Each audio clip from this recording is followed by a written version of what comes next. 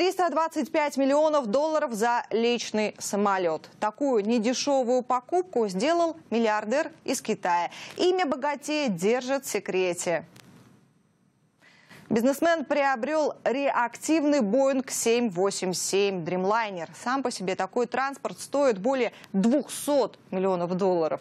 Но исходный вариант китайца не устроил. И он вложил в свою покупку еще 100 миллионов, чтобы переоборудовать Boeing под себя. Такой кастомайзинг произвел. Теперь лайнер походит на пятизвездочный отель. Есть здесь гостиная, кухня, столовая, спальня и даже кабинет.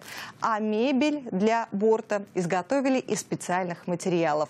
Неоспоримый плюс такого чуда самолета – возможность путешествовать на дальние расстояния и при этом не выходить из летающего дома. Dreamliner это пассажирский самолет американской компании Boeing Commercial Airplanes. В размерах э, его крыла 60 метров. Вот такой размах. А высота 20 почти. На борту этого малыша может поместиться несколько сотен пассажиров. Так что не мудрено, что китаец мог там оборудовать целый таунхаус практически. Или трехкомнатную квартиру по меркам наших э, квадратных метров. Разработчики утверждают, их B787 э, экономичнее своих предшественников. Наверное, это и заставило китайского бизнесмена сделать такой выбор.